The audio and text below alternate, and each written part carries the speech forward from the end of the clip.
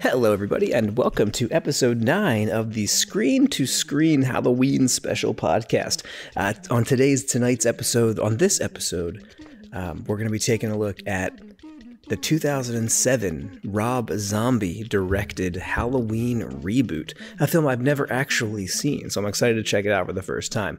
Uh, my name is Justin, I'm going to be your host, uh, and we're going to get into some audio commentary for this movie. So thank you so much for tuning in, for listening, and uh, yeah, let's um, let's get right into it. So I'm going to go ahead and push uh, push play on my Blu-ray double feature here, um, and play lay film. All right. So it's booting up, and we get the Dimension logo. Uh, so this was a reboot for the franchise. They, you know, Rob Zombie, the the musician, um, film director, took over, and um, you know, this became kind of a fresh start. And uh, let's see. The darkest souls are not those which choose to exist within the hell of the abyss, but those which choose to break free from the abyss and move silently among us. So we get a quote from Dr. Samuel Loomis here at the start of the film. Halloween, just black and white lettering. Interesting. All right, we get kind of a sort of a shot here of like a suburban Haddonfield, Illinois, October 31st, not sure what time period this is set in. I don't know if they went back to the 70s for this one. But we kind of see like a house and there's like some pumpkins and decorations and stuff and there's like a kid playing with some rats inside and he's got a kind of a creepy clown mask on. He takes one of the rats out of the cage. Calls him a cutie pie. He's named the rats. They're his pets. Elvis is the first one we get sort of these weird little close up shots of the rats. Then we get we get some eggs cooking in a pan.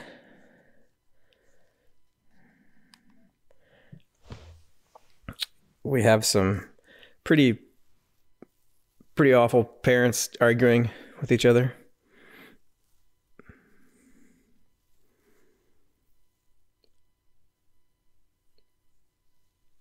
Wow.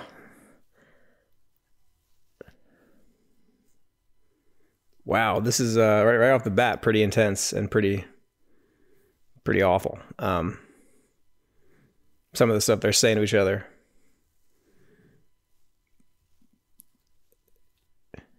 Yeah, really, really like kind of visceral, brutal evilness, vileness right off the bat. You know, this sort of like family in distress, family having, you know, not good parents.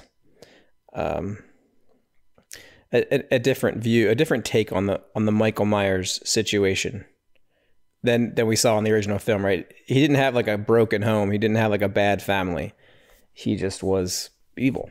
So this family clearly has a lot of problems.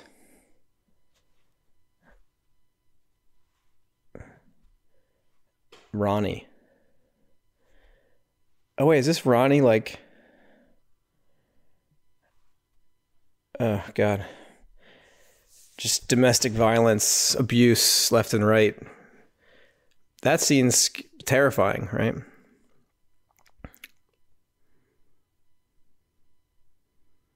Oh god. So the, the kid from earlier is in the bathroom and he's got like a bloody scalpel and he's just screaming and the parents are just like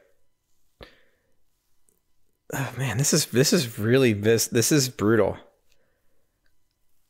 Oh.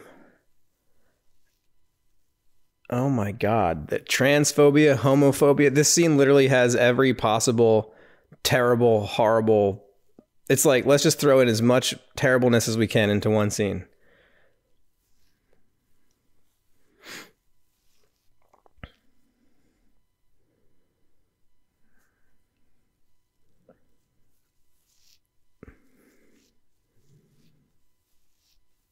Man, this is brutal. This is this is brutal. I don't know. This I, I, there's a reason why maybe I never watched this. This is terrible. This father is so so viscerally bad.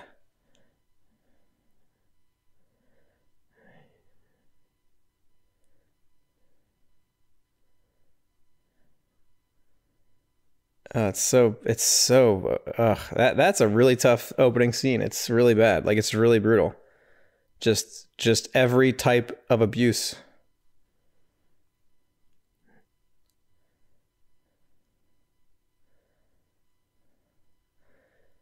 I don't know. This this is very not Halloween, you know. Like kind of taking it to this kind of place with this kind of brutality and this kind of violence and this kind of abuse and this kind of trauma. Oh god, it's really like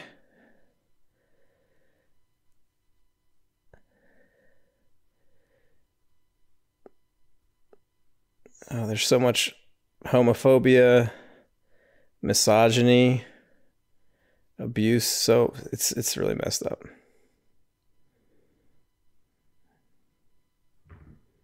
So they're they're sort of mocking him because his mom is an exotic dancer. And they're just they're just saying a lot of like really bad stuff and really messed up stuff. So he's getting kind of beat up in the bathroom and bullied and and a principal walks in or some older person walks in and yells at the kids and tells them to looks like he has some makeup on. And the kids the kid says fuck you to the to the adult.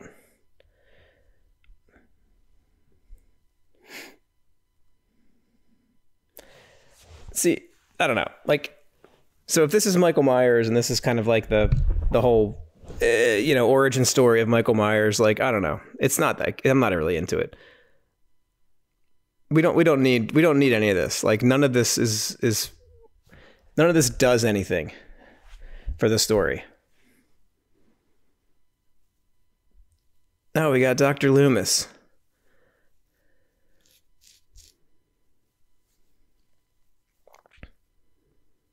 Who is this actor? This actor might be a redeeming quality of this film.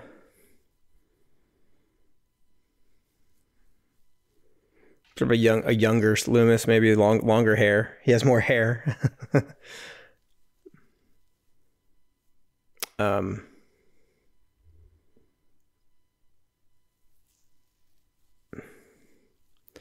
So you know he's he's like a you know he's like killing animals. He like murders things. Doctor Loomis thinks he might be you know it's like a serial killer. I don't know though. Like this changes the whole thing, right? This changes. It changes the whole story. He's a he's not really a, a, a sadistic serial killer. He's just evil embodied in human form. So they're just having a conversation about Dr. Loomis is sort of talking about early warning signs for for deeper issues, deeper problems. And then the Halloween theme kicks on as we watch Michael Myers kiss t-shirt, ripped jeans, long blonde hair, sort of run away from the principal's office, sort of escaping from whatever they're talking about he goes to his locker, grabs his Halloween mask.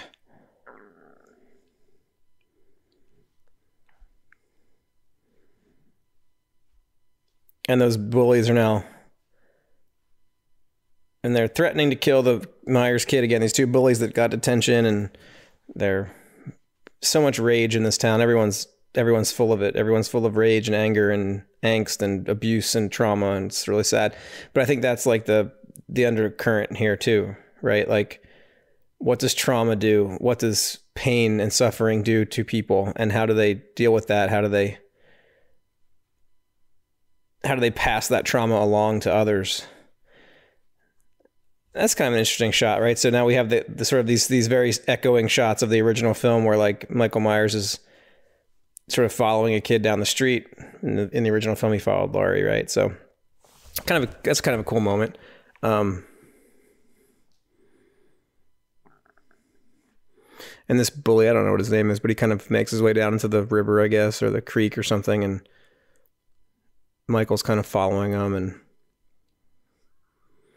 he jumps out from behind a tree with his mask on and has a shovel and just starts wailing on this bully and just kind of he just starts hitting or not it's not a shovel it's a tree it's a large stick and he's just sort of smashing him with it. And the bully's just begging him to stop and he's not.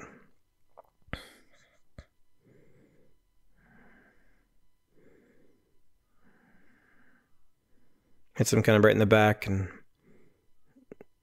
he's you know clearly hurting him. Kind of get like a little head tilt right there sort of a michael myers head tilt moment interesting camera work too. His camera's kind of like behind things and kind of almost like it's someone looking on hidden behind things. The blood's the blood is interesting looking in this too. It's a lot more real. It's a lot more like um sanguine. It's kind of black almost.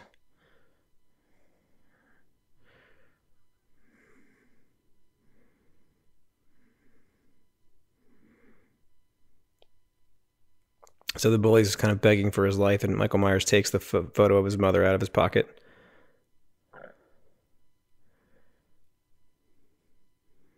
And then he kind of slow mo, sort of with the sun in his at his back, kind of pulls the mask down.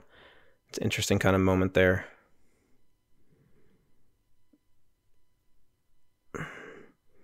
And then he just sort of finishes this guy off. He just we get some interesting shots of like the treetops from below, sort of spinning. It's kind of an interesting moment. Like we often get a shot like that with like death, I think, in film, like the soul leaving the body kind of moment there, right? And I guess this is Myers' first human, you know, murder. Um, and uh, I don't know. It certainly changed the story, right? Certainly a different tale now, right? We have him as a just a killing killing the bully, not his own sister. Maybe we might get to that, but uh, and he did it because he was, you know, harassing his mother, and just because he was getting beat up in the bathroom, and he just, I guess, snapped and didn't want to get, you know, whatever from Doctor Loomis. Okay, so cool. We get like a film within the film moment here. I'm not quite sure what movie that is. We go back to the terrible father, drunk, smoking just abusing his family all day long.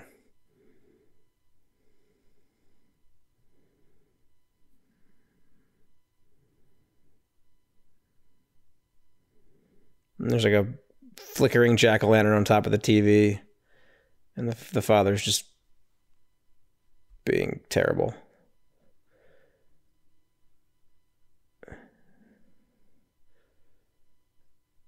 and he's just using some really really awful derogatory slurs that are just not acceptable to use at all um, even in 2007 they weren't really acceptable to use and i just don't know if that i wouldn't i don't think that has a place in this film or anywhere but you know there's other ways to make people uh, come across as a vile character without using those kinds of words but so judith myers getting a lot of like how far 13 15 minutes into this we're getting a lot of like a lot of like adolescent michael myers or young michael myers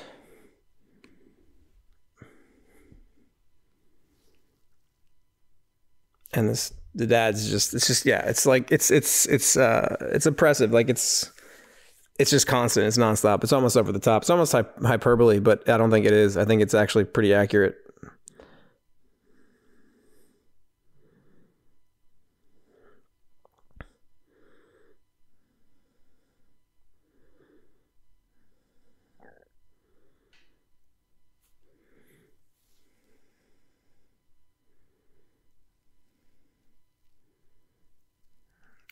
So Judith doesn't want to take her brother trick or treating. And her and her friend, boyfriend, go upstairs and leave Michael by himself. I don't know. I just I just think that this the whole this whole take. All right, then we get this sort of pole dancing stripper scene. Um, this whole take is like love hurts. Okay. This whole take on this is weird because it's making you it's it's generating this sort of empathy in a way, right, for this character, right? Abusive home life, you know, uh, just not not a good childhood at all, abusive father, mother that is you know doing the best she can but is not really around much and you know, what are we supposed to feel here? What are we supposed to be like? Oh yeah, poor Michael Myers. Like I don't know. It's weird. It's a weird take. Like I, I don't just don't think. I don't think anyone wanted this. I don't think anyone wanted this like exploration of the psyche of Michael Myers, but we get this extended strip scene cut in between of Michael like by himself Windy Street trick or treating. Meanwhile, his sister and her boyfriend are upstairs having sex, and you know.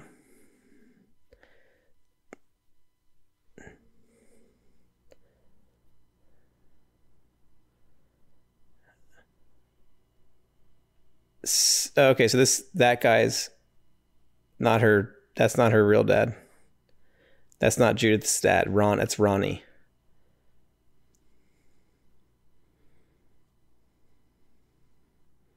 and she says her dad's dead. Oh god, this guy brings the he brings the mask.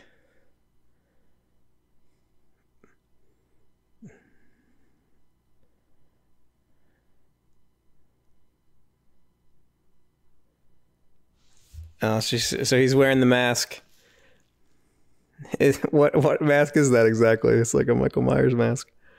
Um, and then the actual Michael Myers returns home from trick or treating alone and sad with his little pumpkin patch thing of candy. His dad, his stepdad, or whoever this guy is, is passed out drunk on the chair, and Dracula's on the TV. Just miserable life. Uh, and to make just the cherry on top is all he got was candy corns. That's the true. That's the true. Uh, the true uh, genesis of, of Michael Myers' rage is the getting the candy corns. so now he's just in the kitchen alone. It's well lit though. It's good lighting in that scene. Um, oh, and he got those gross like peanutty. Th- uh, those are gross too. Yeah, that's not a good haul at all. Um, nice details though. Like his fingernails were kind of crusty and dirty and Like he's not really being taken care of at all. And then he walks over to the drawer and finds some tape, some duct tape. This movie definitely like takes his time. Then he grabs the knife, you know, the classic Halloween knife from the drawer, and now he's got this big knife and he's got some duct tape.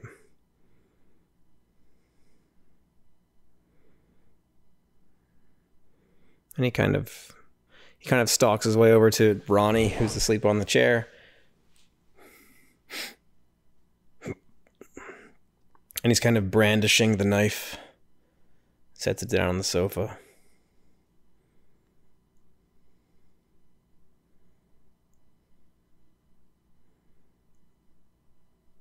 And he uses the duct tape to just tape the guy to the chair so he can't move.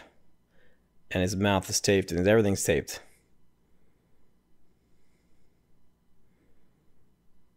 and then he brings down the mask.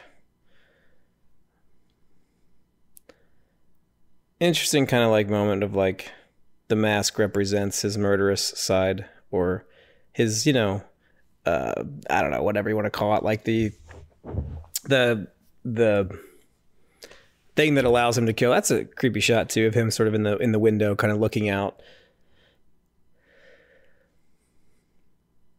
it's weird. It's like it's hard to remake, you know, Halloween because it's such a classic. But you know, you hear the music and you think, you know, this isn't right. But all right, so here he is. Ronnie's taped down. It's a good shot of up looking up at him. Uh, oh, and a very gory moment of he just slices his throat, and they just show it all, and he his blood's just spurting and ugh, that's that's a lot of that's that's pretty bad. That's pretty gory, honestly. Like that's a lot of blood.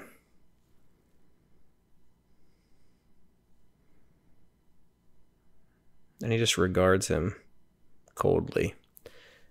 And the sister and the brother and the, her boyfriend are upstairs, and they're finished now. And he leaves, and she puts on her headphones, listens to some music, and kind of makes his way down the hallway. And oh, we sort of see a flash of of Michael, and he's kind of stalking him. This is kind of cool. And he's got a baseball bat.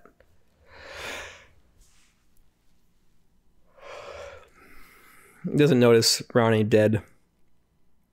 Goes to the fridge for some beer, probably.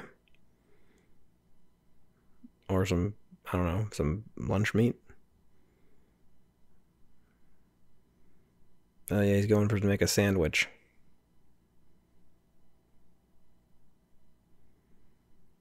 And here comes Michael Myers out of the shadows. Yeah, it's kind of kind of weird. We get a lot of like a lot more stuff with him as like a kid.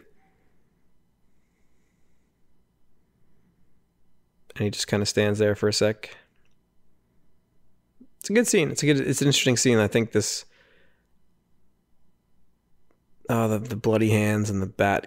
There's some tension here. Oh. Interesting little camera work moment there when he hits him right when he hits him with the bat. The camera kind of jostles up and down violently too. Kind of a neat, neat little moment of direction. And then he just wails away on him and just murders him.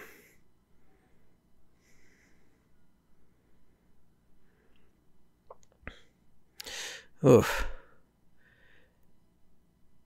Man, they really they really go all in on like the blood pumping out thing. Like I guess you know they wanted to make it more violent, more visceral. And he, he just walks through the blood, doesn't even care. Just footsteps of blood everywhere now. Well, that guy's out of the picture. And the sister's listening to Don't Fear the Reaper on the headphones upstairs, of course.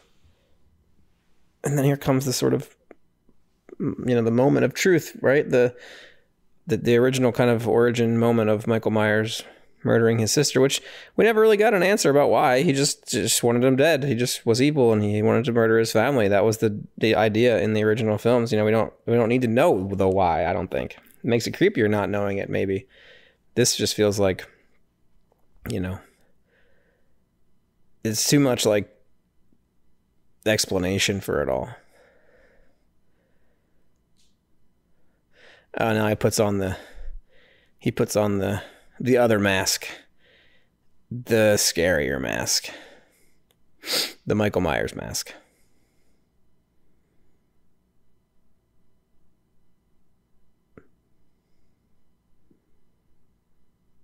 And she thinks it's Steve, her boyfriend, and he's kind of like caressing her leg for a second and and then she realizes she turns and realizes it's it's Michael.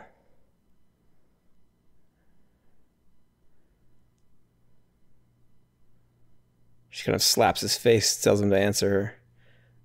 She's kind of hitting him. And then he stabs her in the stomach. Quite different from the from the scene in the original film. This is 2007, so, you know, almost 35 years later. Uh, and she kind of staggers out of the room, just dripping bloody everywhere, dying.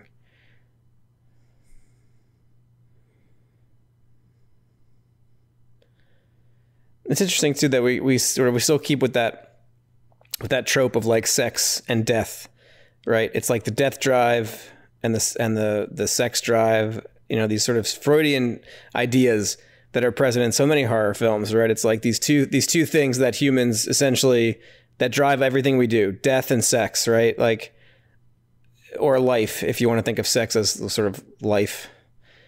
And then we get this cool this well, cool. This we get this like interesting scene of like him sort of slashing her as she's trying to crawl away and he's just sort of just like the camera shakes really interestingly too in the hallway here and we get this neat like shot of the close up of the mask on this child's body, which is kind of a weird juxtaposition.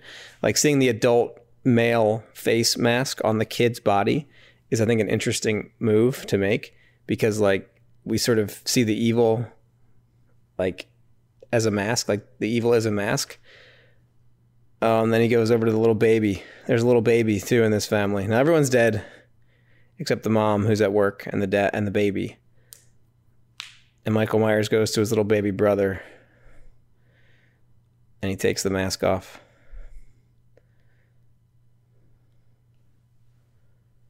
And he says, Happy Halloween, Bill. And he kisses him on the head. And then we cut to the strip club. And the mom's shift is over and she's leaving. With some guy.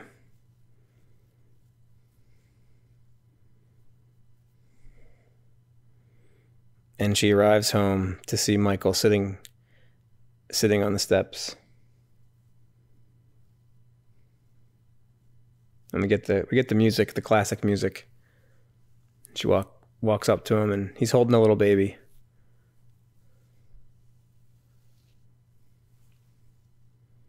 She asks for the baby. She wants to know what's what's going on. And the police sirens start to come up in the background, and we get a really cool aerial zoom out shot here. So that was a long scene. That was like 25 minutes. And then we kind of get a montage of the the police arriving and you know the aftermath and the fallout and the mom is just devastated and traumatized and everyone's dead and she she can't deal with it and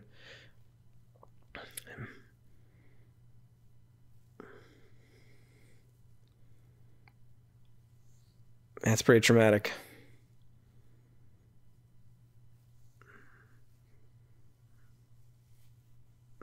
interesting sort of like sepia toned kind of uh, it almost like looks like historical documentary footage here. Kind of cool. They're kind of just recapping all the murders and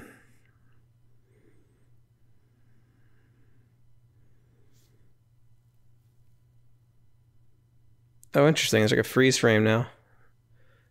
That's a cool it's a cool shot so there's a freeze frame of like all the police and the the coroner bringing out the bodies, and the sirens are still kind of blip, turning, but like everybody's stopped. It's like a tableau almost, like they're all just frozen in time, and the camera kind of pans down to the back of a police car, and Michael Myers is there in the car, just kind of staring staring into nothing. And he kind of turns and looks directly at the camera. That's kind of cool. Smith's Grove, 11 months later. 11 months later.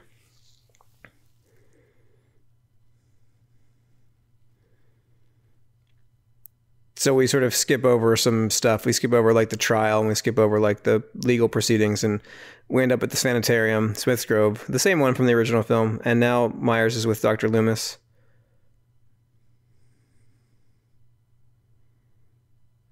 Interesting. So we're getting like some of this stuff too, like the Loomis Myers interviews.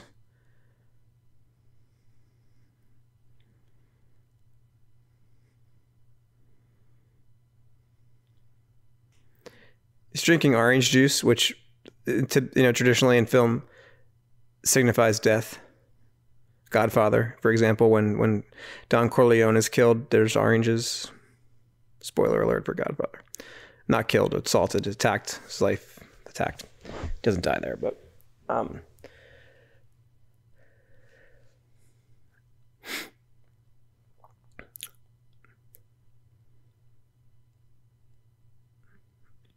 So Loomis is asking him if he remembers anything about killing his family. And the, he's just like, I don't, I didn't do any of that. So was it like dissociative disorder? And the mom comes to visit. Really interesting framing of that scene. Like the sanitarium looks looks interesting. I think this might be the 70s because they're kind of dressed like like 70s style. And he asks if everybody's okay at home, and like he is like as as though he really doesn't remember doing what he did.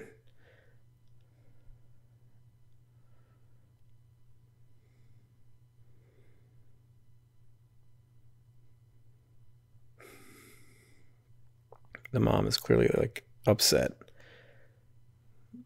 All right, then gets a dark and stormy night. Sort of a slow zoom. This is actually not bad so far.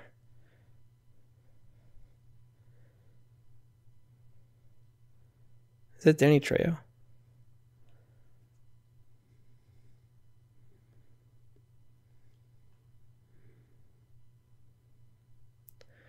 So the janitor is giving him a pep talk.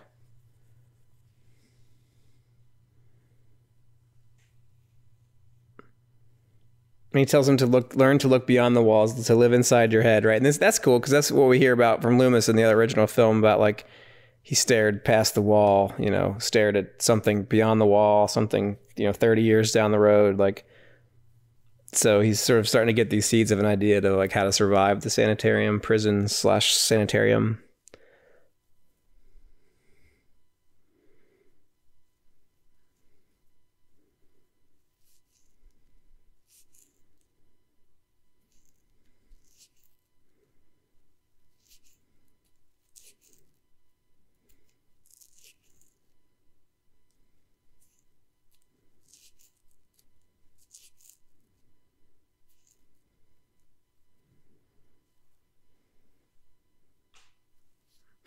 Sorry, I was just listening. That's interesting. You know, Loomis explaining that black isn't really a color; it's sort of the absence of color, and white is all the colors combined, and kind of you know harkening to that whole black white, like good evil, yin yang kind of thing.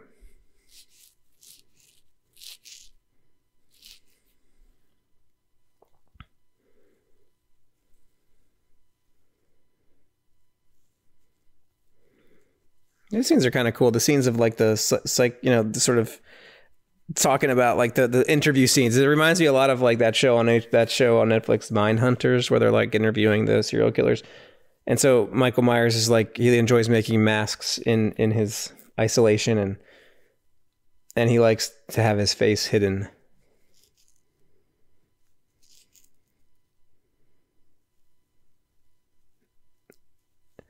He says it hides his ugliness. See, like it's interesting, but like, do we really need to? Do we really need to dedicate half an hour of this film to like exploring the shattered psyche of young Michael Myers? Like, I don't. I just. I don't know. It's a weird choice, in my opinion.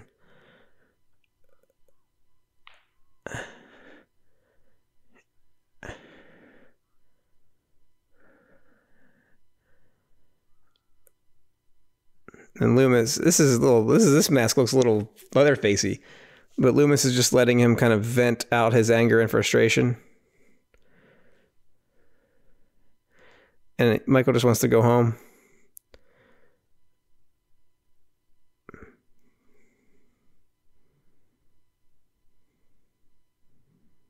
And he tells him he can't go home. You've done terrible things, and he doesn't remember, I guess, or he's pretending not to, or something and Loomis is giving him a lot of like he's hugging him and he's like giving him a lot of care and stuff and we sort of see that as the as the months go by and the seasons change he continues to make these masks. And he stops eating and he just always wants he just always wants the mask on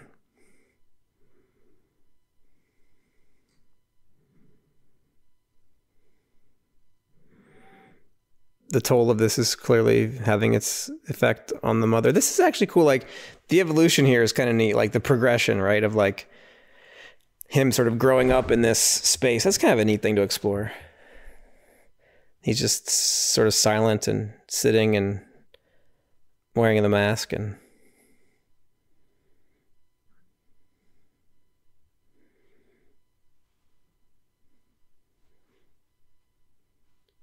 So he's just like unresponsive, completely unresponsive. And she brings a picture of her brother and oh, there's some corn. There's some corn. There's some garmonbozia there.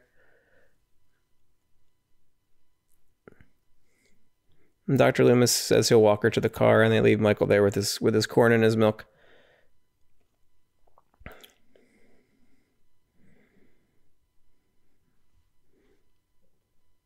And the nurse comes to sit with Michael while Dr. Loomis takes his mom to the car. It's kind of an interesting little scene here. It's kind of intense. You're kind of like, uh oh, what's going to happen to this nurse?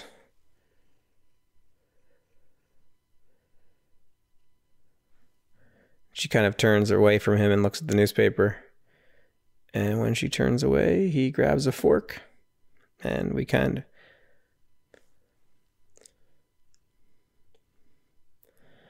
Oh, and he he starts to murder this nurse. And the security guards rush in. This is kind of a shaky cam scene. Oh, God, it's brutal. And there he is standing there with his mask on. He's got his head tilted, like, you know, the classic head tilt. And he's just sort of murdered the, the nurse.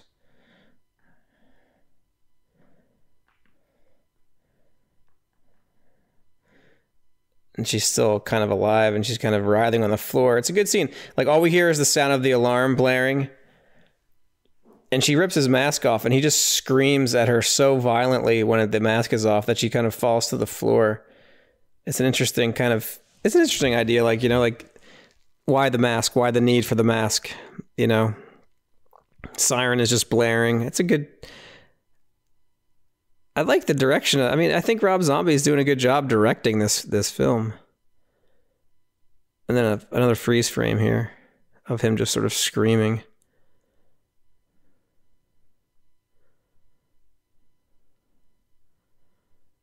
And then some home home movie footage and his mom is just just devastated just at home crying on the sofa just you know, her whole life has been torn apart here, right? Like, how could you possibly live with that kind of trauma after that? Sad. I did not realize that this would be 40 minutes almost of this sort of early stuff, but uh, then she picks up a, a weapon and I think she just she can't she can't take it anymore. She can't live with the pain anymore, and I think she's she's just sad. She just wants to know what happened. I mean, and um, just oh man, we hear a gunshot and a baby crying. That's just terrible. All right, and then we cut we cut ahead to 15 years later. 15 years later.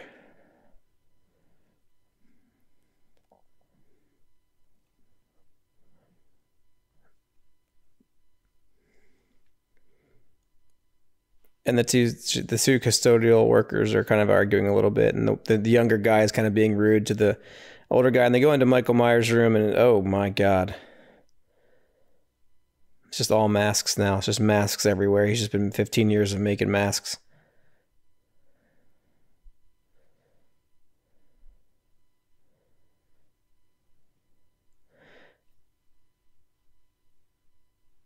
Oh, and he's like just massive. He's uh, he's so big. That's cool. I think that's a good choice, making him just like huge, like a like a pro wrestler, football player.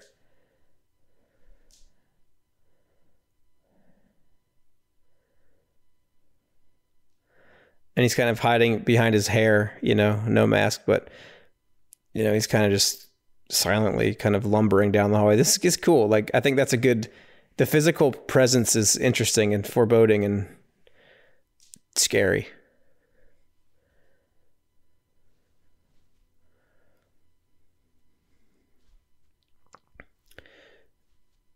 And Dr. Loomis is much older now and short white hair.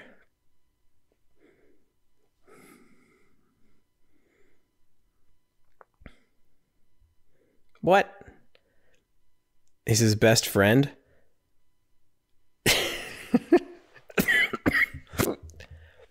He's my you're my best friend. Shows you how fucked up my life is. Very uh very um I'm there's a very like uh man man like wrestler mankind Mitch Fol- Mick Foley vibe with this long hair over the face mask look.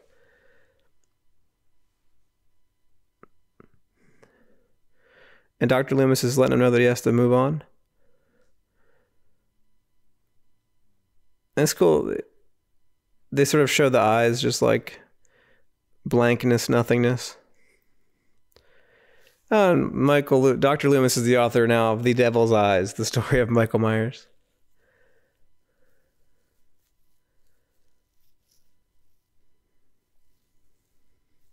It's a giant picture of, of the young Michael Myers and his eyes kind of looking up, scare, scary. On the projector behind Loomis. That's a cool shot too. We sort of get a close up of Loomis's eyes as he's talking about Michael Myers' devil eyes. So that's kind of a neat dichotomy shot there too. That's kind of cool.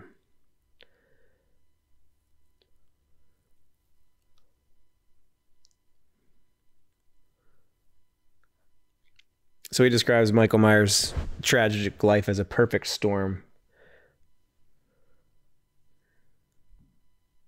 All right, and so we kind of get this key piece of uh, information that they are they're transferring the the Michael Myers tonight. So we have some security guards with some maximum with some maximum sideburns here.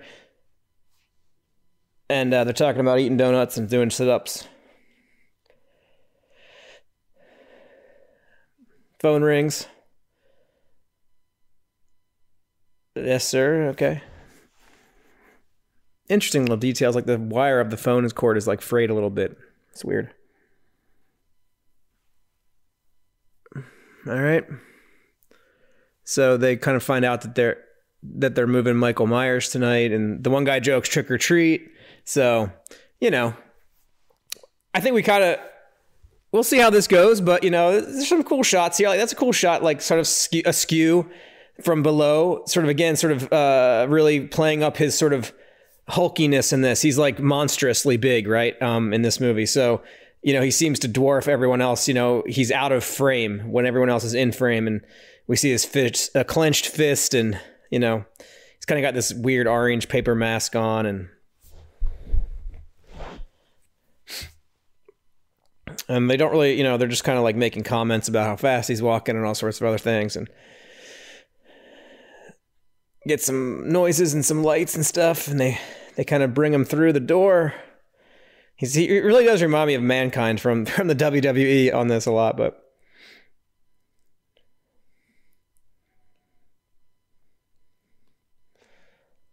we kind of we kind of hear a little bit of his breathing, and his his head's kind of looking around a little bit, and they're kind of building up the tension. You know, you kind of get a sense that something's about to happen, and then he breaks loose of the chains, and he just starts going to town on these security officers, just brutalizing them. They try to stop. Oh my god, he just like he just splatters his head on the window. Sideburns guy got his head just splattered. And so he uses one as a human shield to block the shotgun blast and then just God, what, what did he do? He just like ripped her throat out? Jesus. Yeah, really brutal. Um you know, obviously they're going for like the brutality factor in this much more so. And, and we kind of get the hell the head tilt, sort of like the classic kind of and there's some interesting shots in this, you know, like the sort of sideways camera angle with him dragging the body down the hallway and all the blood on the wall. It's very, it's very like it's much it's a much more visceral horror film than than sort of Halloween uh, I think is sort of usually goes for. Um, so it's just an interesting kind of twist on the on the genre uh, of Halloween itself. Like Halloween kind of established a genre, right? It is is it, it is its own genre, um, and this movie kind of you know upends that genre just a bit, and that's okay. Um, so here we have that security guard that kind of befriended him as a child, kind of walking through alone. We see the you know whenever there's like a glowy pumpkin, that's that's not good. And it's not good in these movies. There's a glowy pumpkin on top of the. I love how people just leave like like lit pumpkins just burning in places in these movies. Like that can't be safe. Um, so the phone is just ringing incessantly, and and the, the the custodian is like kind of he doesn't know where everybody is, but there's like a half dead, half alive receptionist at behind the wall trying to scream and Michael Myers just sort of standing above her and secure the the Jan, the custodian guy didn't notice that, but we still hear the phone ringing in the background. And now he's just sort of making his way through the through the halls, and he's kind of like, "Where is everybody? What's going on here?" And then he turns and he sees he sees the massacre, and he's kind of shocked, and he checks to see if anyone's still alive, and and he starts saying some things, and oh, and then he runs across Michael Myers.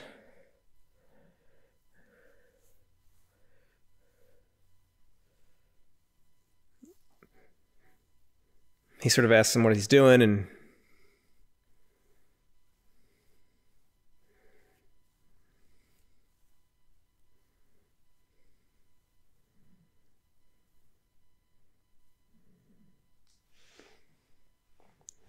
So he's like going to try to handcuff him. He's trying to get him back into his room. I don't think I don't think he's going to go for it.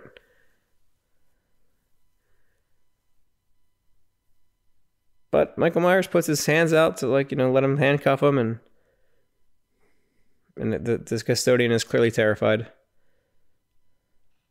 Ah. And he's, he, he he turns on him in the last second, starts throwing him around, and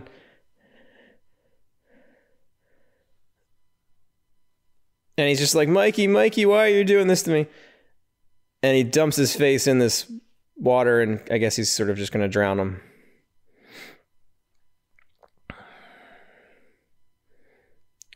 He keeps saying I was good to you, Mikey. It is not. Uh, that's a great shot of like him underwater with the blood kind of mixing with the water, and that's that's a good shot. It's really kind of creepy. Um, and he's just kind of begging for his life, and blood keeps coming out of his mouth. It's good.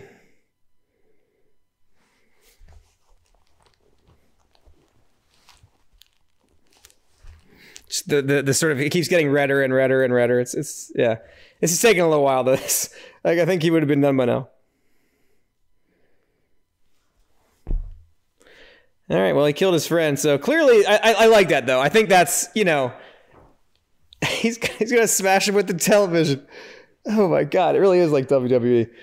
Um, oh, and he just smashes him. I, I'm glad he killed that guy. I'm not not glad anybody gets murdered, of course, but like, I think it was wise not to have him be like, "Oh, that's my friend. I'm just gonna spare him." Like, he just kills everybody. You know, it's evil. He's evil. He doesn't he doesn't care. All right, so now Sam Loomis is getting the call that that some shit has gone down. He kind of wakes up in the middle of the night. And he just says, Michael's out. He's out. Michael's out.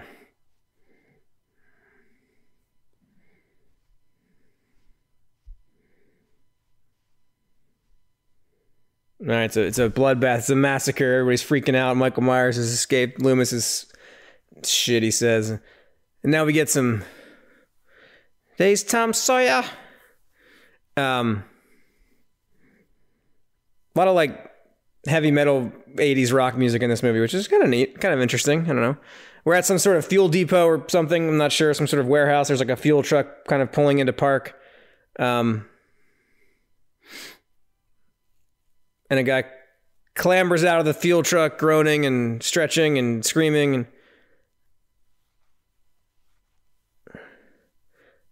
he's he's just kind of excited to be back in town, I guess, and looks cold outside because his breath can be seen. This guy's got some epic sideburns too. There's a lot of sideburn action in this movie.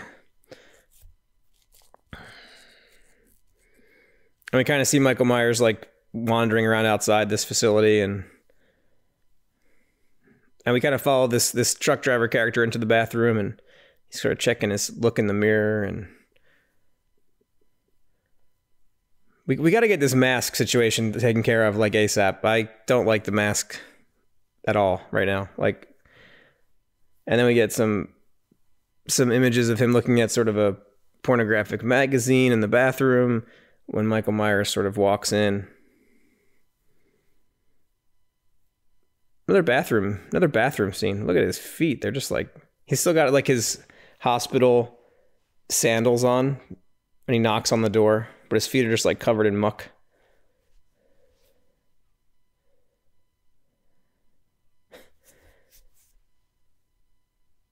He says the guy says he's got a taco to get rid of, and he's gonna be a while. So keeps knocking, and now the guy's starting to get a little annoyed.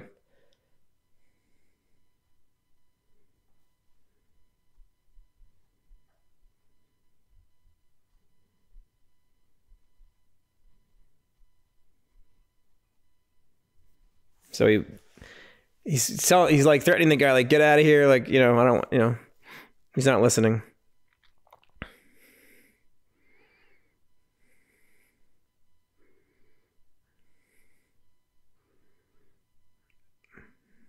So he opens the door and they're kind of face to face. Joe Grizzly, bitch!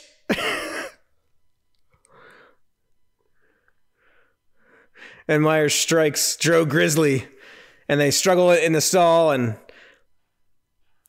Michael Myers is overpowering this guy. Like there is like this I really do kind of dig this sort of brutality of him. He's just like too strong. He's like it's it, you know in the other films he's like got a uh, sort of a supernatural strength, but in this movie it's more of just like he's just like this huge dude that like no one can deal with. Um so that's kind of that's kind of interesting. So he defeats he murders Joe Grizzly and uh, stabs him with his own knife, and now there's just blood everywhere. And he takes Joe Grizzly's outfit, which is sort of like the more classic Michael Myers get up. Oh, that's just there's just blood everywhere. So now, oh, we get the we get the Mr. Sandman here.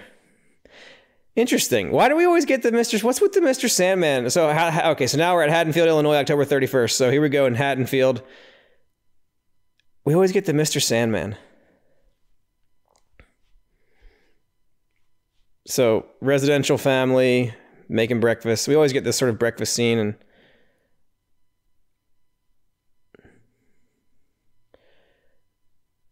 and the, the hardware store is going out of business and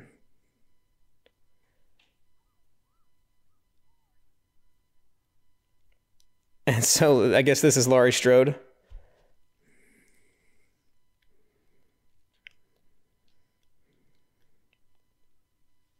Wait, I, I can't remember what happened in the beginning when he killed everybody. Did, he? So did anyone survive? You no, know, just him in the in the. I can't remember. I thought just him and the little baby. Maybe the baby was no. What he called the baby William, didn't he, or Billy or something? All right, so Laurie Strode, we get this is like classic. This is like the original film. Like it's the music, Laurie Strode walking down the sidewalk. This is really cool. There's Halloween decorations everywhere. It's a little more modern. Um, it's almost shot for shot the same, which is neat. Oh, cool. And we get this sort of to- Tommy Doyle meets up with Laurie scene. This is cool.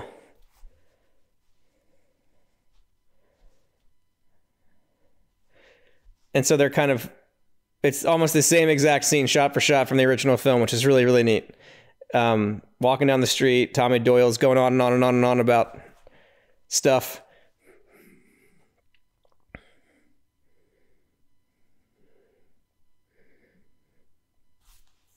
And so, you know, she's his babysitter. That's cool. That's a cool little little moment. I like that. I, I'm into that.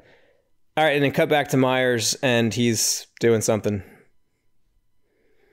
Don't know. I guess he's in a house. He's walking down the stairs somewhere. Maybe this is his house.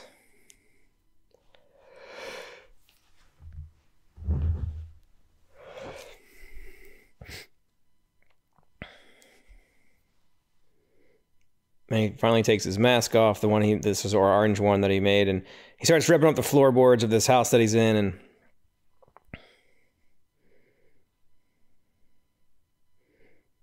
he's just sort of like ripping the wood up and splintering it, and it's cracking. And under the boards, he finds this giant kitchen knife that he stabs into the ground. It kind of sticks there for a second, and then he reaches in again and pulls out his mask, and then the music kicks up. Cool. I like that. The, the Halloween music, the John Carpenter theme comes on, and he sort of stares. I see that's a cool shot too. Like he's staring at the mask for a moment, like this is who I am. Like this is who I. I'm going to be. Like this is this is me. Like right, and he puts the mask on. The mask looks cool. It's kind of like broken and splintered in places, and we see we see a lot more of the eyes in this version of the mask. Like we really get a lot more shots of his eyes, and then he hears Laurie and and Tommy like outside. And Tommy says, "Don't go in there. That's a, that's the spook house. That's a you know right. Remember that line? This is exactly the same as the original, but then we, we got that we get a scene from the inside. We never got to see the inside in the original, and and so there's we hear we hear Myers breathing. We get that first person shot of Laurie like running up to the to the porch to drop off the the thing from her dad, and she's just like laughing and stuff. And Tommy's like, "Don't go in there." And she and, and that's that's a cool shot too. Like she she she puts the letter right in the mail slot, and Myers is right there on the other side of the door. And she drops it, and he just kind of watches her go.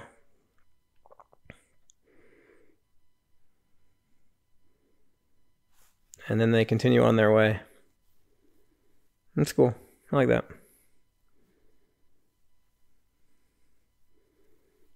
All right, now we get the scene of Laurie. Oh well, in the library this time.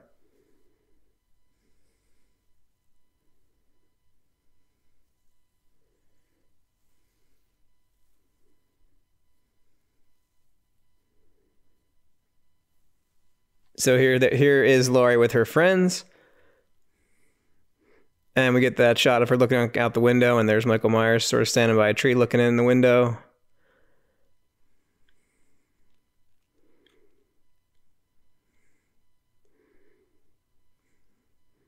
And he's just there. I like the little pumpkins on the house in the house behind him sitting there.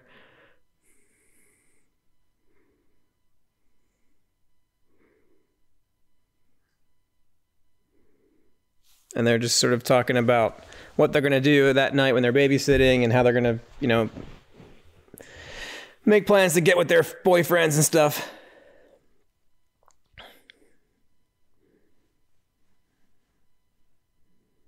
And then she looks out the window and he's gone now.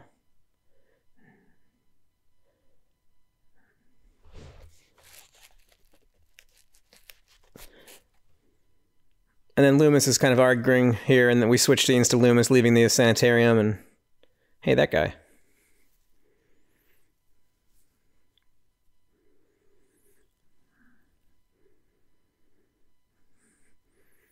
Who is that guy? It's the guy from Ace Ventura, right? Tom Ace. Ah, Mr. Ace. Welcome to that guy, you know. Or hear a school bell ring, and now that now school's out, right?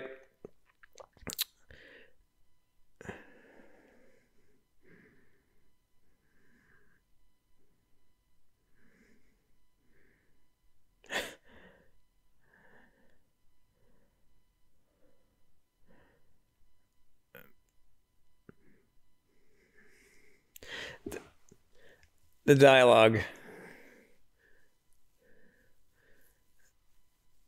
The um the I don't know, the dialogue's all over I like it. I like the sort of way they're talking, but like it's just a little it feels a little over the top, but I still I still think it's good.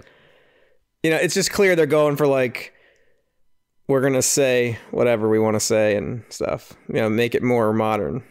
But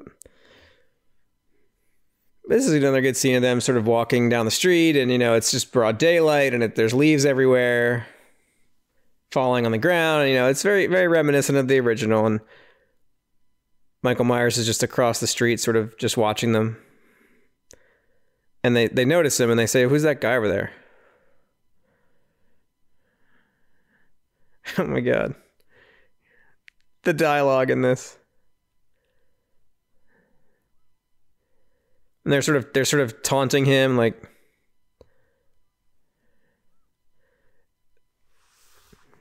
and then he walks away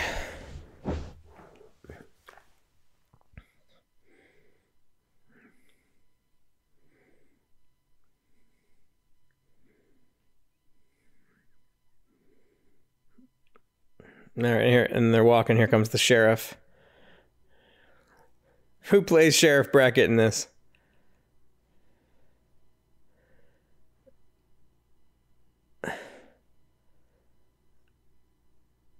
This, I'm on my way home. Anybody want to ride? Who is this guy? Uh, Sheriff Brackett. Eh. All right, so so his daughter, is it Annie, gets in the car and drives off.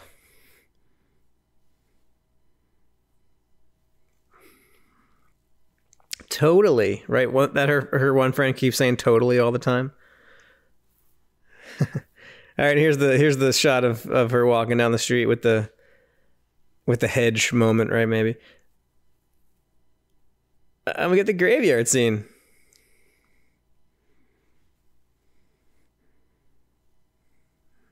Satan's mother. Look at Loomis. Co- the cooler version of Loomis, maybe, I guess, depending on your perspective.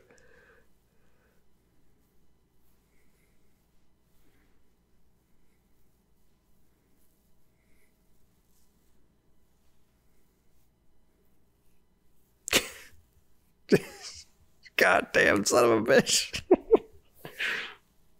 God, I love it. The, the language is hilarious.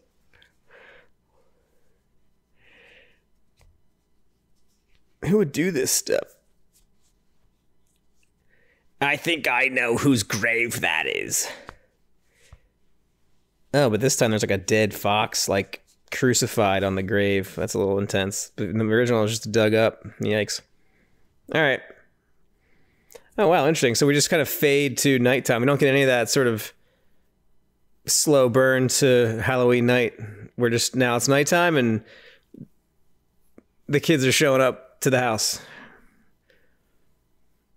Uh, it's what's her? It's uh, it's is it what's her name? Lindsay? No, it's not Lindsay. It's um, oh my gosh, why can't I? It's it's Laurie, Annie, and I can never remember the other one's name. But anyway, they, they show up and they go into the house. I guess it looks like the Myers house. Is it the Myers house? It looks all dilapidated like the Myers house. Yeah, they go in and he's just staying. he's just up on the damn balcony. They didn't see him up there. Like he's just on the balcony, and they just start immediately having sex in a sleeping bag. I don't know. I feel like this movie like misses misses the point. Like it's the build up. It's like the slow burn of the original. That's so good.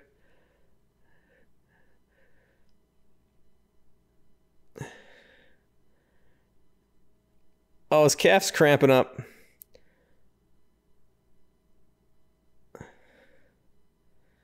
This is Bob.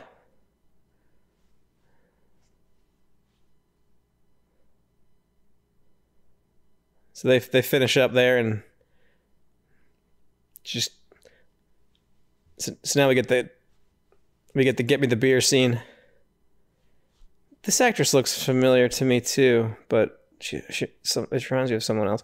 Anyway, so Bob goes to get a beer like in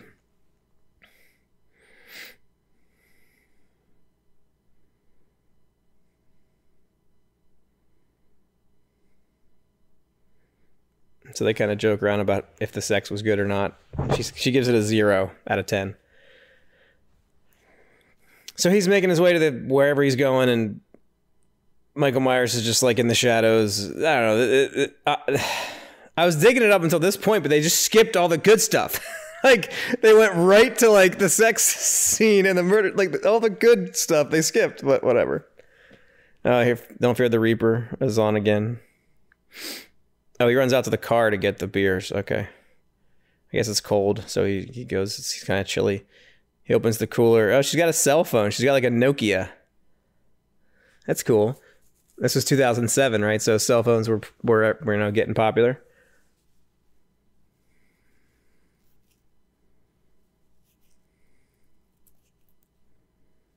So she's talking to Laurie on the phone, on the cell phone.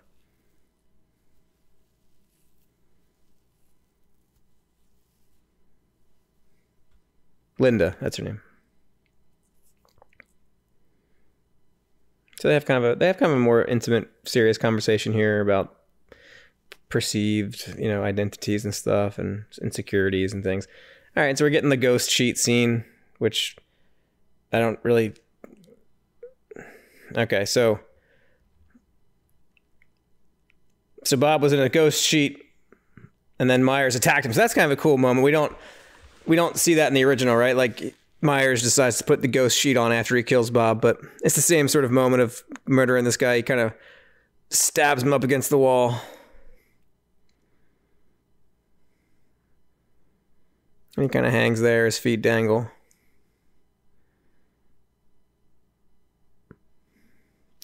See, I don't know. it's tough. It's tough to remake something that's so iconically classic. Like that scene in the, with the moonlight in the kitchen is just it's just iconic and i don't know. It's like when you're gonna when you do something that like that again it kind of i don't know.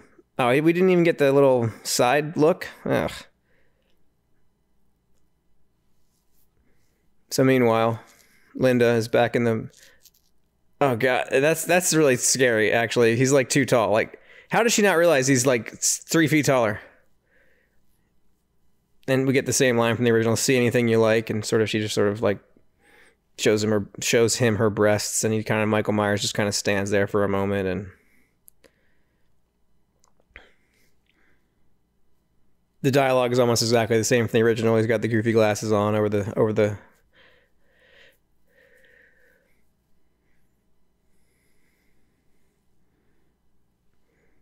Oh, he actually has the beer this time. Michael Myers is sort of holding it.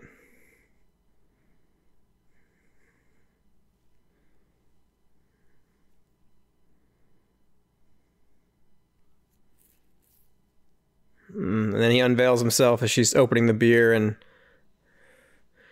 grabs her around the throat.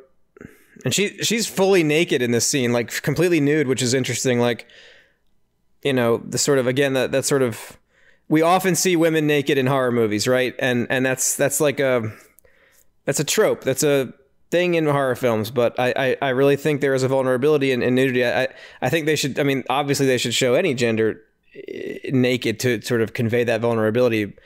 but you know, um, there's also a component of it of like who the audience is and and you know, there's a there's a there's a exoticness, there's a raciness to it. But I think that that like him carrying her completely nude body is like I think in this particular film that conveys this sense that like he doesn't view people as human beings. He views them as just like you know animals or or just things to be you know killed. You know they're not they're not anything more than that to him. So I think that's an interesting scene. So here's here's Loomis now at the at the local uh, at the local gun shop, of course, just buying a bunch of weapons. All right, then we cut back to Halloween night and everyone's trick or treating and Laurie and her mom are on the steps and they're kind of giving out candy and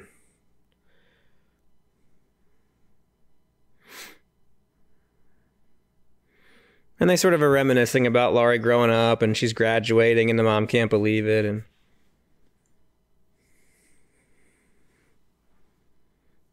and they kind of are talking about memories and the dad comes out and lights up a cigarette and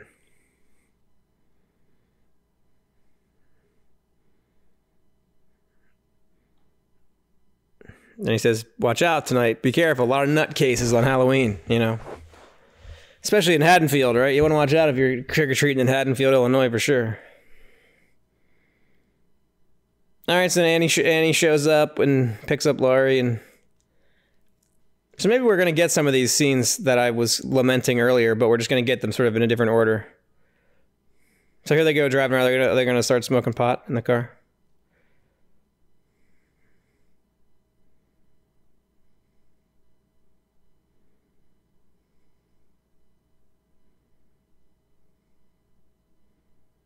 Dad, I hate vacations. I want to stay home. I'm, I'm like that. oh my good God. Michael Myers just teleports in out of nowhere, decapitates the dad, busts into the house. The mom doesn't know what to think. She tries to fight him with like a firebrand, and he just kind of corners her and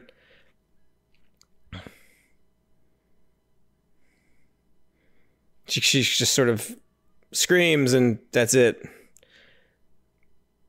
That's a weird shot of like the phone and oh, the mom's still alive. She's sort of crawling away, trying to get to the phone, I guess. That was that was a brutal kill on the dad though. This guy's head just like sliced full off. Right when she picks up the receiver, Michael Myers grabs her and he picks up a picture of Laurie and he's like he like holds it in front of her and he's like where is she I guess? And he slams her through a glass glass uh footrest table end table thing coffee table and she oh he just snaps her neck. Ugh. Brutal man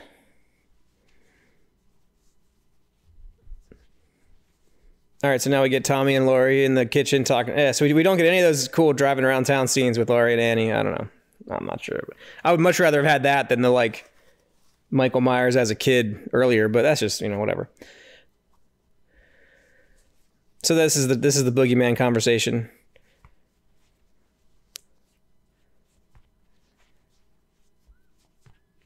Uh, Laurie's a little Laurie's a little meaner in this one. She's like making fun of Tommy and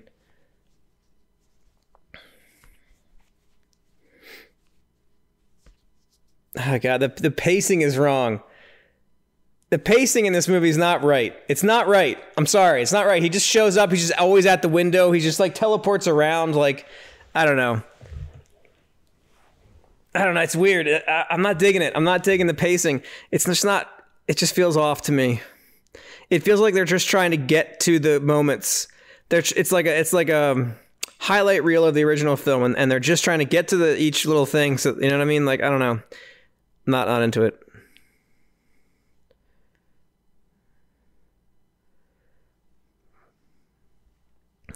All right, so we get the film within the film again, and we see we see Lindsay for the first time across the street with I guess with Annie, but this time Michael Myers is literally just standing right behind Lindsay, kind of watching her. and watching the TV and sort of like tilting his head to the side. That's creepy shit. Just kind of standing there looking at her. The shape.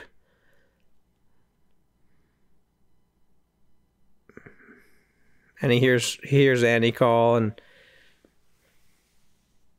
and then uh, Annie comes in and Michael Myers isn't there now and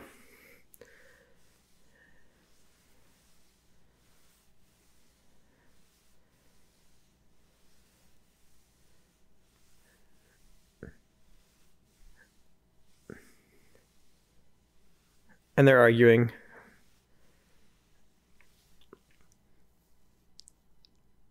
Sh- Sheriff Brackett. Is that the guy from Lord of the Rings the, that was Wormtongue? Grima Wormtongue? It might be.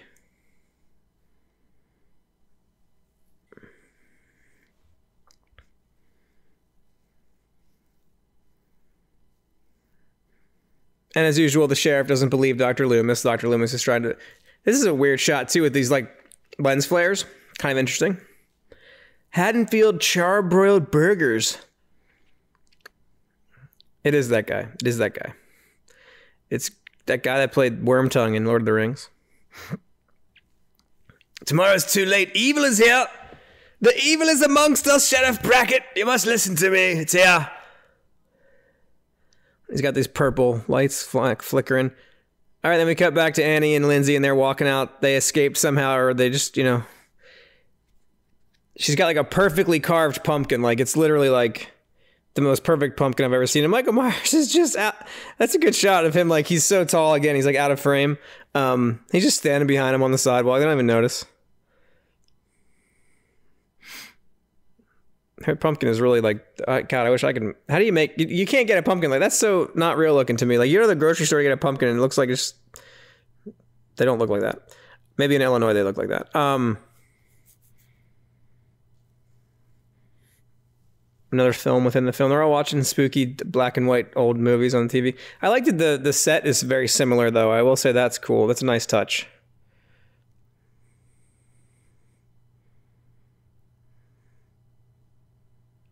Tommy hates girls.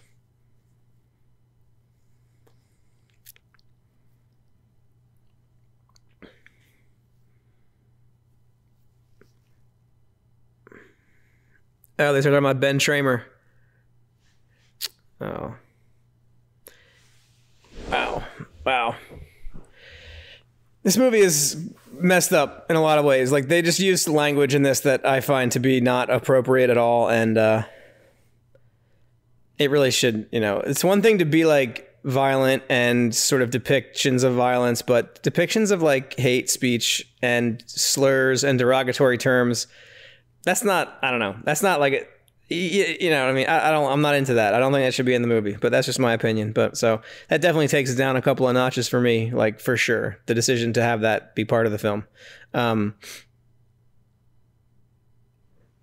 but then again, I mean, you know, it's it's reality that people talk like that. You know, like people do say those terrible things, and but I don't know. I, I don't want to prop. You know, you shouldn't propagate that stuff. All right. So the sheriff. The sheriff doesn't like Dr. Loomis. He read his book.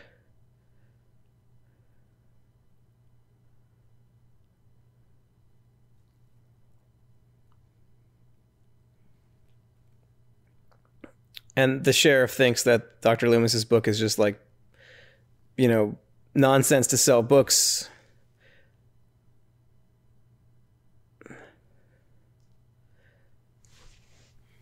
And so he goes into the whole speech about, you know, Michael Miles, Michael Myers is evil, and evil is, you know, a thing, and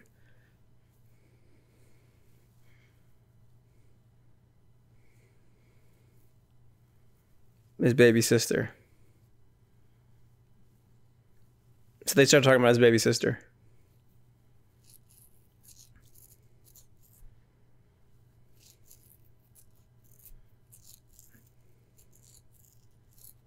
I don't know, but it's not good. okay.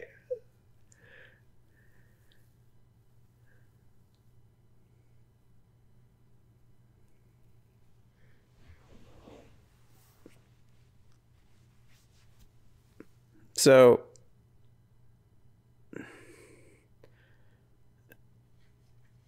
All right, so the sheriff calls the Strode house and no one answers and as we hear the answering machine, we just see like the scene of violence and it's it's it's brutally violent. They're just massacred and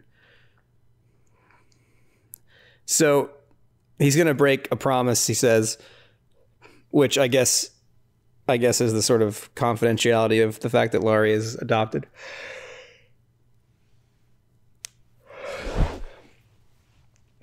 Now we get a skeleton in a movie like coming out of the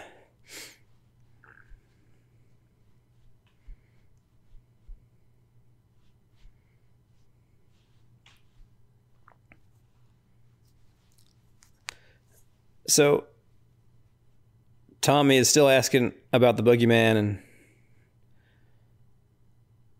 and Lindsay agrees with Tommy like there's a boogeyman. I agree with Tommy.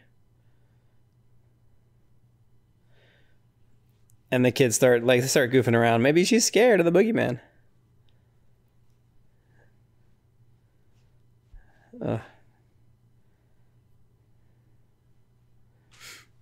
She says, "Leave me alone for five seconds," and they they literally count to five and then start hassling her again. So then we cut back to Annie and and Paul,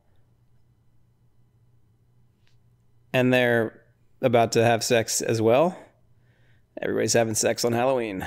Michael Myers is just kind of chilling in the background. He teleports around a lot in this movie. I don't know. A second ago, wasn't he like, wasn't he like in the other house and he was on the street?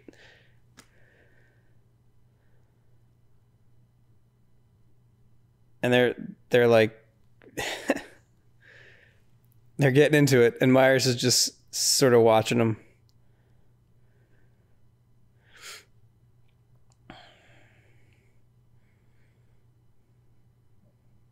I don't think yeah, we don't Annie doesn't ever get to be with Paul in the original, right? She she gets killed on her way to go meet him, right? So hey, in this one she got to at least she got to make out a little bit before whatever's about to happen.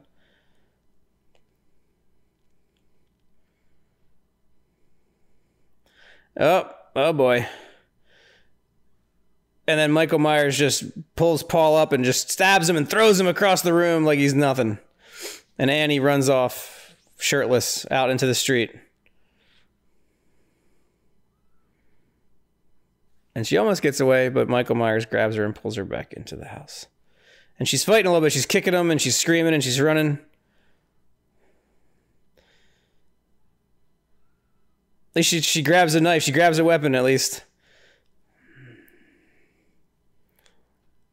Oh, and he kind of just punches her and knocks her out. And like just one punch knocks her out.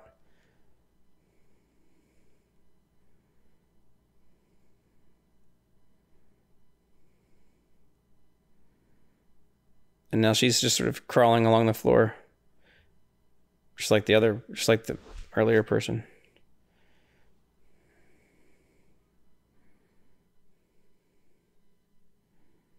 And he's just kind of dragging her, screaming. This is pretty intense.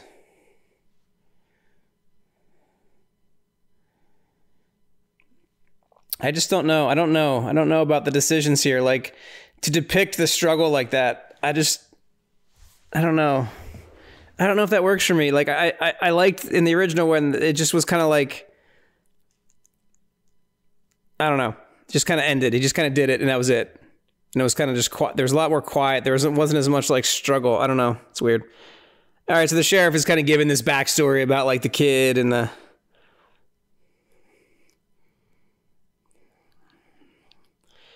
His eyebrows are just always up. He's like always like wide eyed. So he's telling Loomis about the adoption of Laurie Strode and. So Laurie and Lindsay walk out of the house into the night. Yeah, the, just, the, the pacing is not right. Like, okay, so here we are, right? So another shot from the original, right? It's like it's like we were trying to just get to this moment, and that's a cool shot. I mean, it looks cool. It looks like the original, but like, I don't know. It's weird. The pacing on this is just really weird. And there's like a weird. Okay, so they go into the house where everybody just got killed, and they immediately see all these dead bodies. Annie's still alive, barely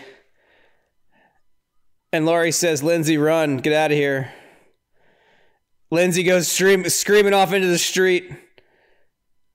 And Laurie's trying to help Annie.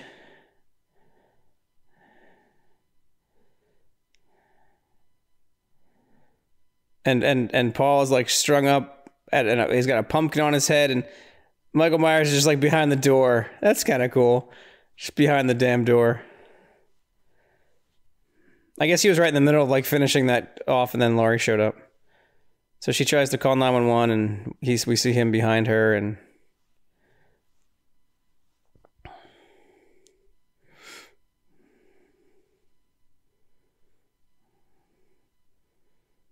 It's brutal. It's very it's very visceral this film. It's very like physical, like in a, in a, in a different kind of way and he kind of just like almost plays with the body that's hanging there for a minute. He kind of just like pushes it around a little and kind of regards it. And he just kind of leaves Annie laying there.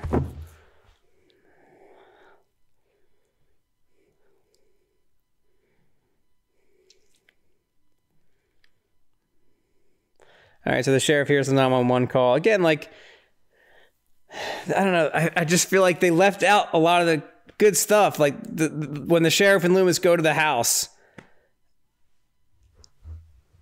Oh God, it's, it's about ten minutes. He's God's sakes, he's found her. And Annie's just screaming for help.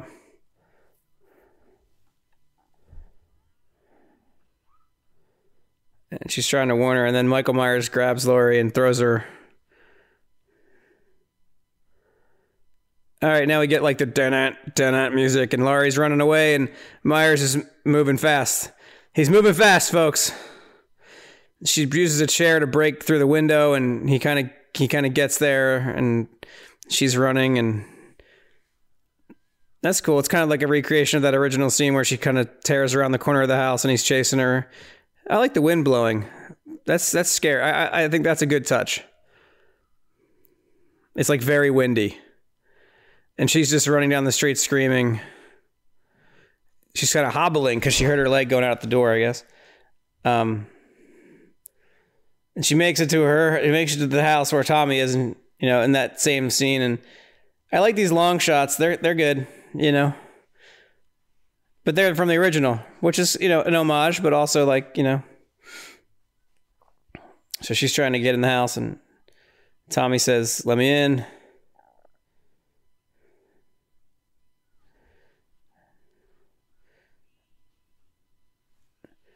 That's that's cool. They kind of see his face like in the in the window of the door, and the kids start screaming and they run, and he just he just busts in like Jesus. He just doesn't give a shit about doors.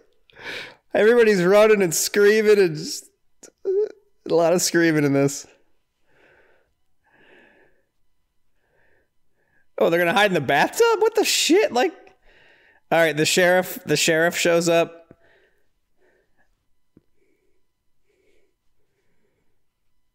They come into the house. They, is Annie? Did Annie survive? I got this. You check upstairs, Phil. Isn't wait? Isn't this the house where like, or is this Laurie's house, or is this the house where Tommy is? I can't. I don't know which house they're in. It must be. It must not be the one where Annie is because there was no body like hanging.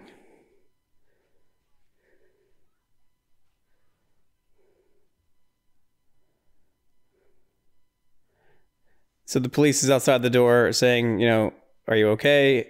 Unlock the door. Let me help you. And the other, the other officer is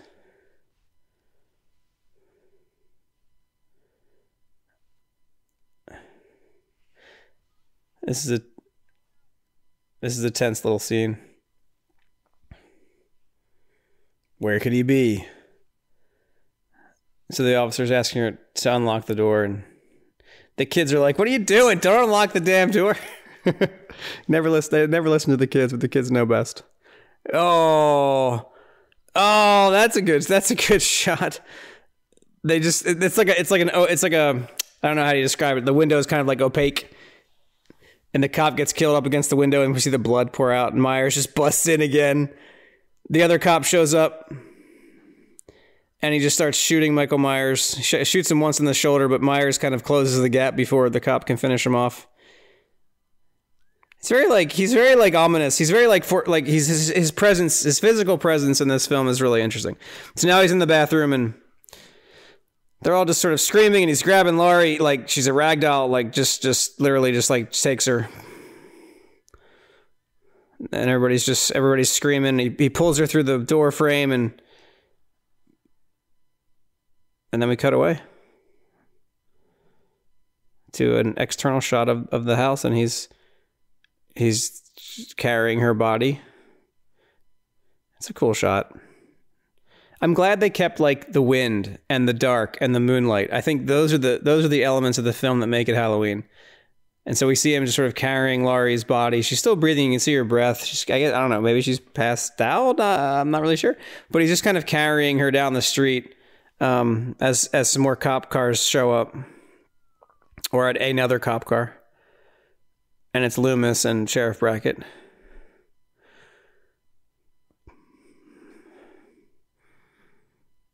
And they make their way to the house. I believe this is the house where Annie is. And Sheriff, he sees his daughter and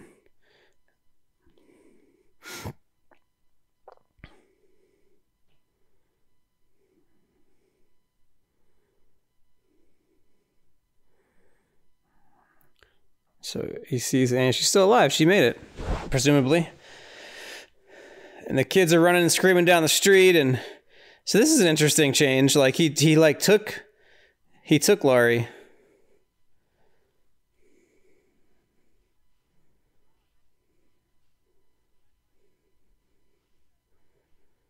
Loomis directs the kids to go stand by the ambulance, and he's going to go in search of Myers and Laurie. He's just running down the street. Okay, it's kind of a remix, you know. Like there's elements here, like you know, Loomis is like tearing off into the night alone, like just wandering around the town, which he doesn't a lot in the first one. And but th- this is all new. I mean, this is a new kind of ending, right? Like Laurie being taken to some sort of layer. Where are they now? There's a pumpkin and there's a uh, he sees Linda. And she so Laurie kind of like comes to she sees Linda's body like kind of they're in some sort of weird tomb. The the Judith Myers tombstone is there and she sees Linda and she's not alive and and Laurie doesn't really know how to respond to that. And then Michael Myers is there and he's just kind of like makes his way into the room this is interesting.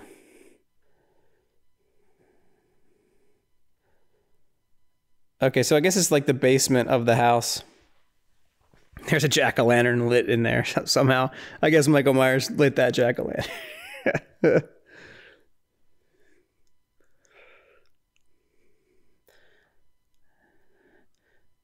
and Laurie says, Who are you? What do you want? And he just slowly starts making his way over. And she's just pleading for her life, don't hurt me. He drops the knife. What is this? Ah, oh, Jesus. What is this?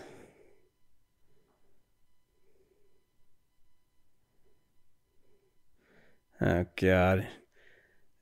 And he shows her the picture. Oh my God. I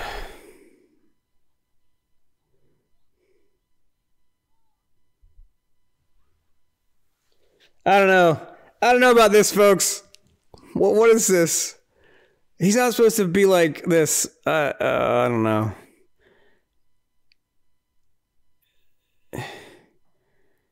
I don't know. He hands her the picture, and what you can see, guys, he takes off the mask now.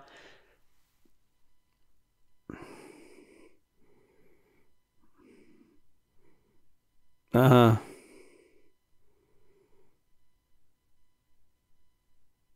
And he just sort of sits down.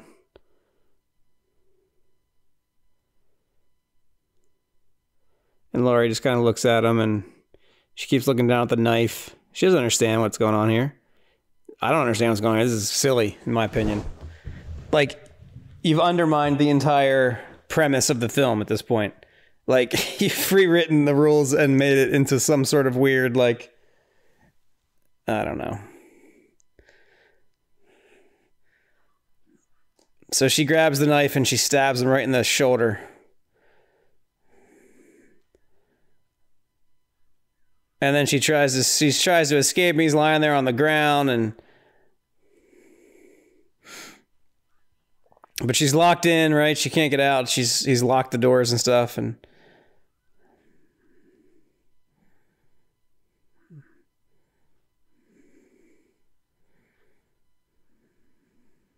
She's kicking, she's screaming, she's trying to break through the door, break it down. She finally breaks a hole big enough to maybe slip through, and she tries to get out of there. She gets out of there, and and it's just stupid. There's another door she can't get out of. Like what? It's dumb. Um, and then he wakes up and he he pulls out the knife and he puts the mask back on, and now he's what? Now he's pissed, I guess. just I don't know.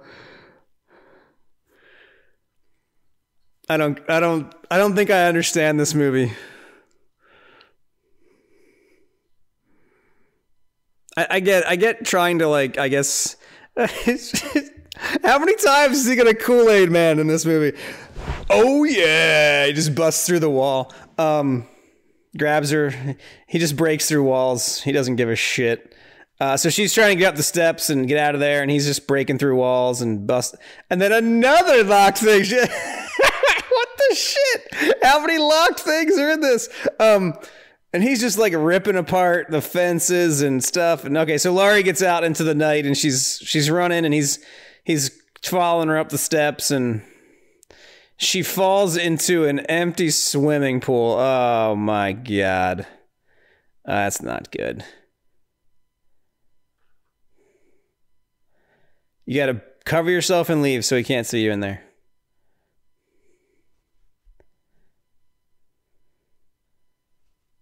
So she doesn't. She just lays there screaming, and she's at the like the bottom of this pool, and he's at the top, and he, you know, that's kind of that's kind of cool, I guess. It's kind of a neat little scene.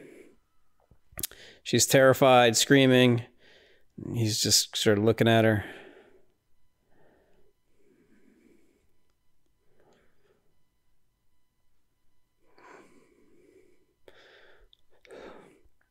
And so she tries to climb out of the pool, but she can't because it's like an empty swimming pool. And he starts making his way down into the pool.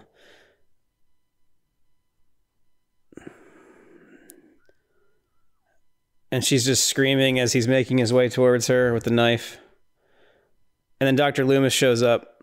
Michael, stop. Michael, it's me. It's Samuel Loomis, Michael. You're Dr. Michael. And he just ignores him. He says, Michael, please stop, Michael. And Loomis shoots him with a gun. And he yells, Stop, stop. He shoots him again. He just keeps shooting him. Not working.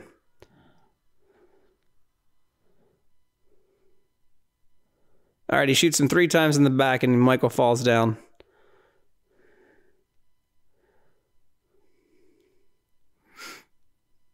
And Loomis now makes his way down into the pool to see how Laurie's doing.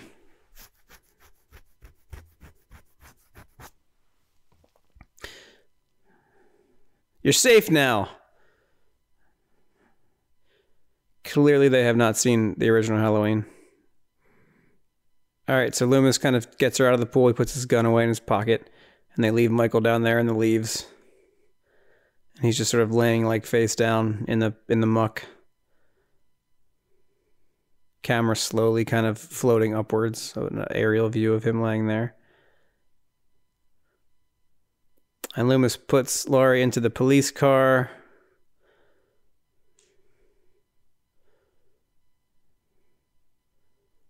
And she's just from traumatized, terrified. And Loomis just sort of puts his head down for a second and And then he wait, wait, he's driving the wait, he's driving the police car now? Last we saw him, he was just running. What? How's he? What?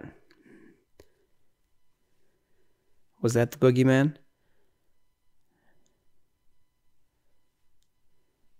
Uh, they changed the line a little bit. As a matter of fact, I do believe. And then he busts in the window and grabs Laurie from the window, and Loomis starts screaming. Why the hell does he have a cop car? Um, makes no sense, I guess. All right, so he grabs Laurie and takes her again, and Loomis is like, "Stop, Michael, stop!"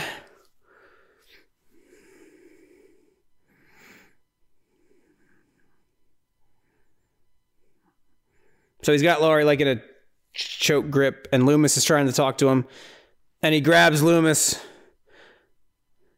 and just is like squeezing his head. But it gave Laurie a chance to run upstairs and escape.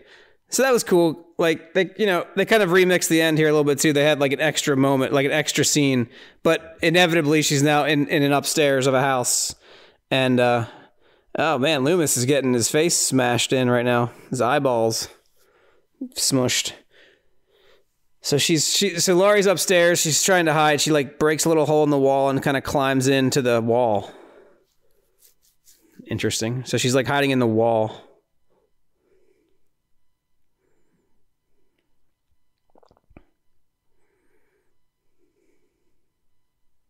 I think it's a I think it's an interesting choice too to like take Loomis out of the picture because in the in the last one, right, like Laurie sort of is saved by Loomis, but and that may still happen here. I don't know for sure. I mean, I think he may be dead. It looks like he's pretty dead, but uh, he might come back. But but we'll see what happens. But um, interesting kind of reversal, you know, to take Loomis out. Why does he drag everybody around all the? We never. It's like we never see him like like dispose of the bodies in the original. He just kind of they just kind of like are in places later. Um, so I guess we just we just get a little more like behind the scenes of like how Michael Myers gets rid of the bodies. So he's just dragging Loomis. And Laurie's kind of like hiding. Oh, we get like a little, we get like a little Texas Chainsaw Massacre moment there, which is cool. Uh, so he finds her like coat that got sort of that fell off of her as she made her way through the door, and she's sort of hiding in the wall and kind of just looking in through this crack in the wall and just sort of absolutely terrified and trying to just be quiet. And it's it's, it's a tense little moment, like you just gotta you just can't make any noise. And she's sort of just peeking up through the cracks. It's good. It's it's it's it's echoes of the original scene in the closet right? But just a little more a little different which is kind of neat. I don't know how she doesn't see her through that little crack. She's like literally right there but he does have that mask on so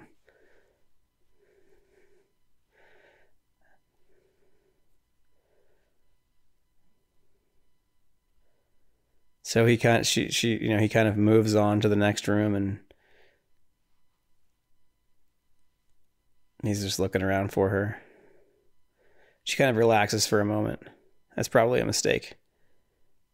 And then he kind of looks back for a second and he's like, "Oh, something makes him turn back. Uh, we don't we'll never know what. Intuition, I suppose."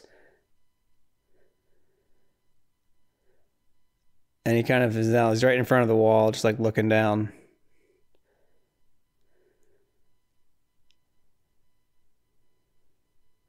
bust through it come on kool-aid man the shit out of this wall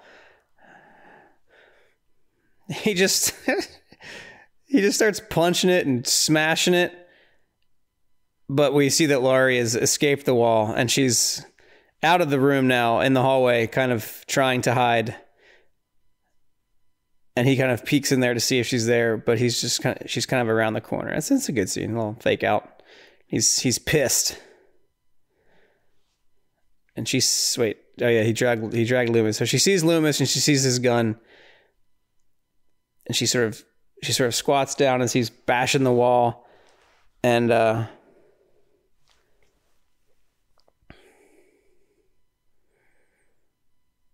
and then he goes on and she crawls over to get the gun. Yeah, this this last this end kind of goes on and on a little bit. All right, and then he comes around the corner and she's there and he's there and they face off. And she runs and he starts walking after her. And she's climbing up something now and he's chasing her around and that's a neat little shot of him looking up. He's like, "Huh, where does she go? Does she climb into the Okay, she's up in the attic now apparently. She's up in some sort of little crawl space somewhere. Is he just to bust through his hand right through the floor here?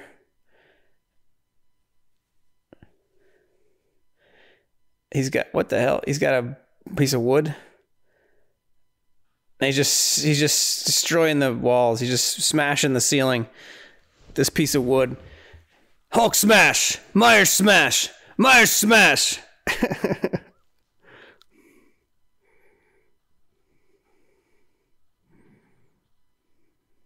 I like I mean I like some of the directorial choices here like I like the way the camera sort of shakes viscerally when he does something violent.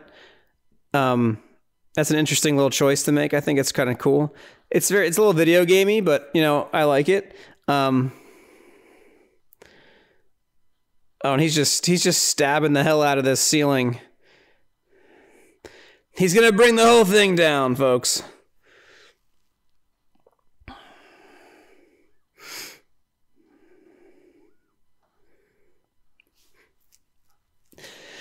This is a lot of uh, destruction of the ceiling going on here.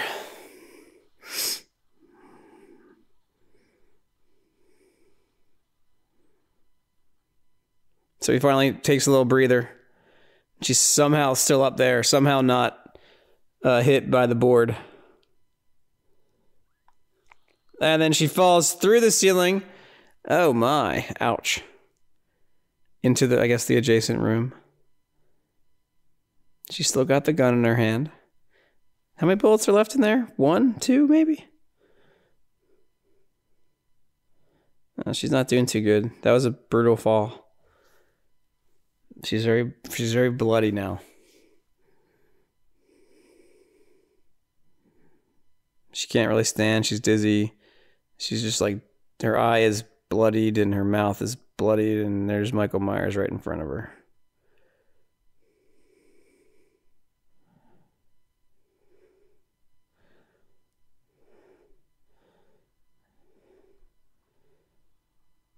What? What the shit is that? He just charges her and they go flying over the balcony? Is that the end? No, that's not the end. Interesting. Interesting choice. They both went over the balcony in this remake.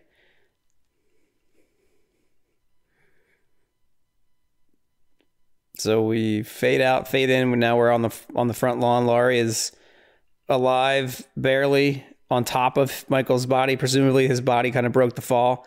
She can barely move. She reaches for the gun. She's just completely. I do appreciate in films when like the protagonist kind of gets more and more and more like beat up throughout the movie. Like Die Hard does a good job of that too. So this is I like the way that the progression of her like physical ailments have proceeded here. She's really like at, at the very end of her what she's able to do. So she's on she's on top of him with a gun and she fires it right in his face, but there's there's no bullets or or the chamber was empty. That one chamber was empty, and she kind of tries again. I like the, I like the camera shake when when she clicks the empty chamber. Oh, and then right before she's able to try again, he reaches with the hand. Oh, and he she unloads on his face. She just blows his face off.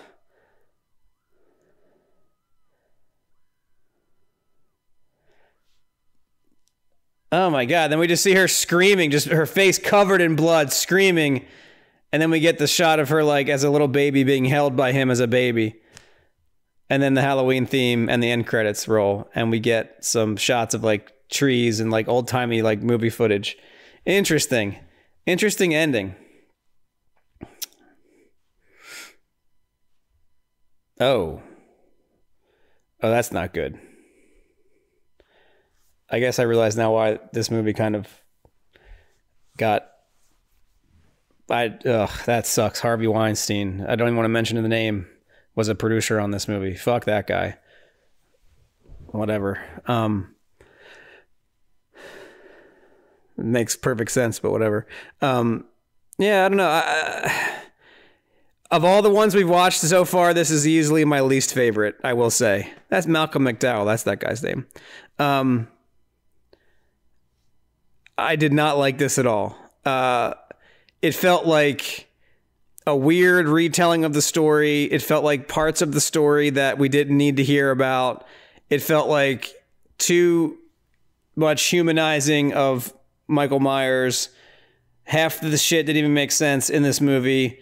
And then all the good stuff from the original, they kind of mostly cut out and kind of rushed to just get to the kills and to get to the violence and to get to the I don't know.